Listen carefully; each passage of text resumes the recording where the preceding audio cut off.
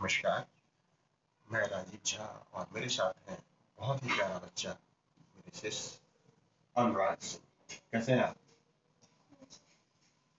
दोस्तों, बहुत ही दिनों से कई मित्रों के फ़ोन, मैसेज, बहुत सारे आते रहते हैं कि, सर, मेरा क्रिकेट मैं कैसे बजाऊं? और कई दोस्तों ने मुझे यहाँ तक भी बोला कि, मैं छह साल से सीख रहा हूँ। मेरे तिटे मेरे क्रिकेट की सफ़ाई अच्छी नहीं है। तो हमें कैसे सीखना चाहिए? मैंने आपके बच्चों को देखा है, वो बहुत अच्छा बजाते हैं। कई मित्रों ने हमें कहा है। लेकिन दरअसल होता क्या है कि आप किस प्रकार से सीख रहे हैं? गुरु सभी अच्छे होते हैं। आप गुरु के पास सीख रहे हैं तो गुरु जिस प्रकार से आपको बता रहे हैं, आप उनकी बात मानिए और उसी अनुसार सीखिए। ये गुरुमुखी विद्या है। ऐसे यदि मैं आपको इंटरनेट पे कुछ बता दूँ और इसे, इससे आप सीखना शुरू कर देंगे और आप सोचेंगे कि इससे हमें हो जाएगा। बहुत ज़्यादा लाभ आपको नहीं होगा। लेकिन आप दिल को तसल्ली कर सकते हैं, आप अपने आप को देख सकते हैं कि क्या मैं ठीक बजा रहा हूँ।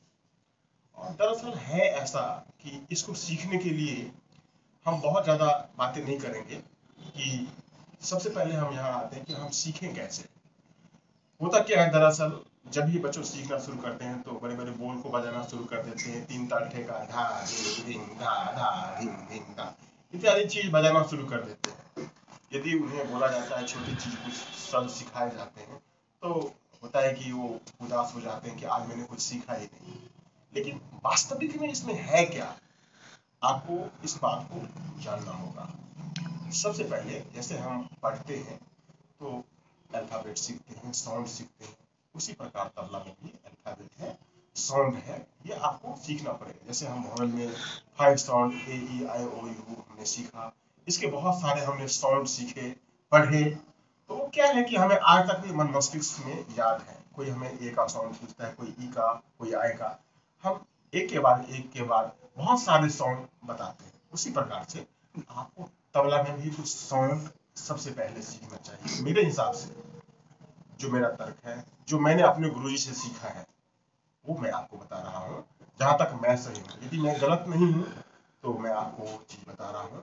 वैसे आपके गुरु का सिखाने का जो भी तरीका होगा, आप अग्रसर उनकी आज्ञा का पालन करें और उसी अनुसार सीखें। और हाँ आज जो मैं बताऊँगा, वो आपको पूर्व अंग में बताऊँगा।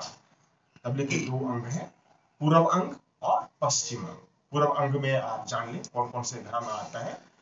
बनारस घराना लखनऊ और फरुखाबाद यदि आप इस स्टाइल को फॉलो करेंगे तो लखनऊ फरुखाबाद और बनारस घराने को बजाने में आपको तकलीफ़ नहीं होगी। सबसे पहले यदि आप सीखना चाहते हैं तबला तो एक साउंड का अभ्यास करें।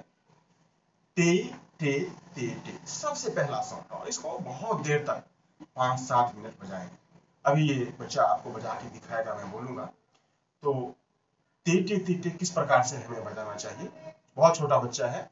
हो सकता है कि साउंड बहुत क्लियरिटी आपको समझ में ना आए लेकिन आप बच्चों के अनुसार ही लीजिए। अनुराग हम सबसे पहले बजाएँगे। टे टे टे टे। क्या बजाएँगे? तो आप बजा के दिखाएँगे।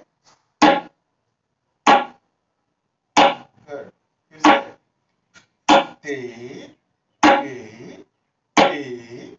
ए और बजाओ ए ए ए बस। तो आपने देखा, ये सबसे पहला सॉन्ग इसको बजाइए। और इसको ऐसा नहीं कि दो तीन बार जो अनुराग ने बजाया है तो आप भी दो तीन बार बजाए, ऐसा नहीं। आप इसको पंद्रह बीस मिनट तक बजाते रहिए। इसके बाद हम दूसरा जो क्रम आएगा, के के, ते टे ये दोनों हाथ से बजाने की चीज़ है। अनुराग के के, ते टे कैसे होगा?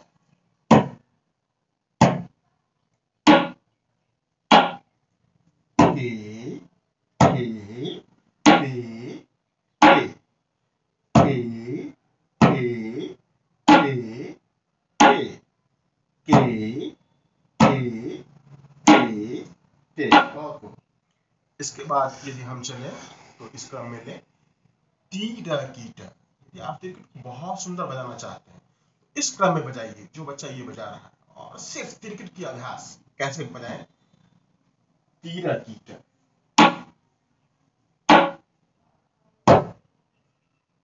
Vá. Ti, da, i, da. Ti, da.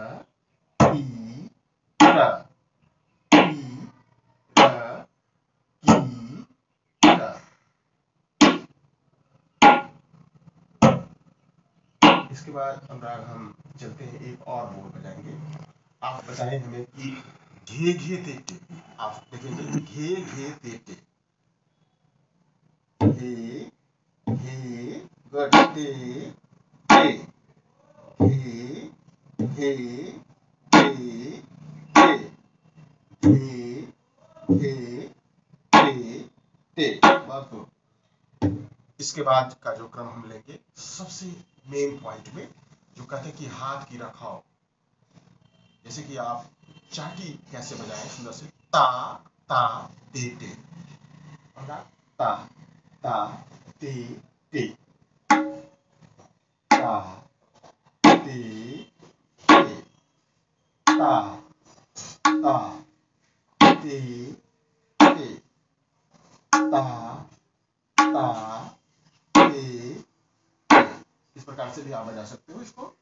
ये हटाइए। ता ता फिर से आप बजाइए। बहुत अच्छे। ये था दो चार पाँच सौ। यदि आप इसको लगातार दो चार महीने बजाते हो तो आपके हाथ में ग्रिप बहुत अच्छा हो जाएगा। ये मेरा मानना है। यदि आपको अच्छा लगता है तो इसको अपनाएँ। और नहीं भी अच्छा लगता है, ये तो मेरे चैनल पे है आपको इससे लाभ होता है तो मैं समझूँगा कि बहुत अच्छी बात है। और नहीं तो ये चैनल पे है ही। हमने एक छोटा सा प्रयोग किया है। यदि आपको कुछ भी फ़ायदा होता है तो मैं समझूँगा और मुझे अच्छा लगेगा। शुक्रिया।